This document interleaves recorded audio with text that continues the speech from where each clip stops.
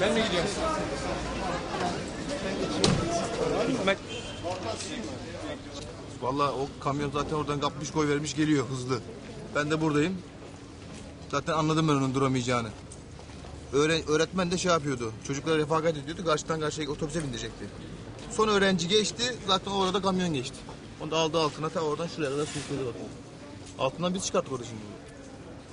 sizi nasıl vurdu? Bana işte geldi. Zaten hiç freni falan yokmuş onun. Geldi kafadan vurdu gitti. Attı beni buraya işte.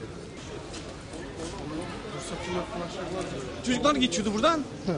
Grup halinde çocuklar hepsi geçti. Bir tek o bayan kalmış. O bayanı aldı oraya kadar getirdiler. Ondan sonra adam biz geri gittik. Bayan alttan bizi çıkarttı.